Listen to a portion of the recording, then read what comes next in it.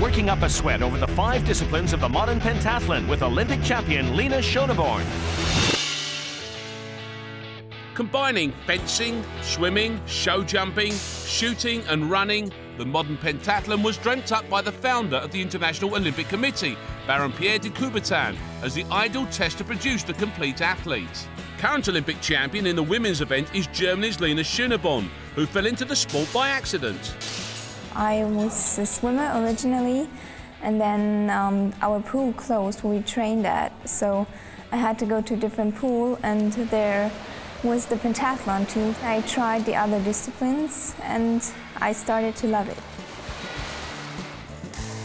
The five different disciplines were modelled on the skills needed to be a 19th century cavalry officer behind enemy lines, with the ability to ride a foreign horse, defend themselves with pistol and sword, swim across a raging river, and finally deliver a message on foot. I couldn't shoot people, no, but I think I could deliver a message through everywhere, like ride the horse and then get my way through the river and then run the last bit just to deliver the message. But now, like everyone can do it. It started with only soldiers and police officers. But um, a couple years after, everyone could start it, and since 2000, it's Olympic for women as well. In 2005, the young German was crowned the junior world champion. Since then, she's claimed a senior world silver, but with the 2008 Olympics approaching, Lena was in the form of her life and going for gold. I started really badly in shooting. I think I was 21st after this event. Um, but I always used to just do one, uh, one event and then, okay, clear my mind and start the next ones. And then I had a really, really good fence, and that was the base for the Olympic medal afterwards. A personal best in the swimming and a solid show jumping round meant that Lena was assured of a medal. But through the 3K run, she ensured it was to be gold as she was crowned Olympic champion. I think I couldn't believe what just had happened. There was such a big stadium with like 40,000 people watching us, and um, I just won an Olympic gold medal. I think I didn't know what happened. In the beginning, it was just a regular competition for me, but afterwards, like the weeks after, I started to realize. Not long after being crowned Olympic champion, big changes were made to modern pentathlon. The running and shooting disciplines were combined into a biathlon-style finale. So is it back to the starting blocks in the quest for Olympic gold? I think the change is really good for the sport because it's a lot more interesting to watch.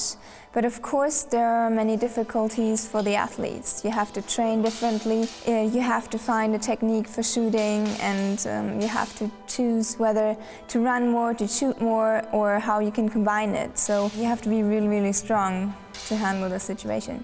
Since the sport has changed mu uh, so much, I think um, we start from zero again. So I'm just like everyone else and I have to fight like everyone else. The fight for victory through a day of grueling competition tests the athlete's physical and mental ability. You have five disciplines in one day and you have to focus on so many different things. Like in the beginning, you have to uh, react um, in fencing and have a, a certain tactic and then you go over to swimming, you need endurance, and then you need sensitivity for the riding and afterwards you have to be precise in shooting and run hard so it makes the day really really tough the 23-year-old's big aim this season is the World Championships in the UK in August, where she hopes to add world gold to the Olympic title from Beijing. It is a battle all the time. There are 15 uh, girls every time who could win the medal. It's exciting till the last minute of the run who can win it. It will be a really good atmosphere and for me I try to give my best in every discipline and then I hope I'll make a good place.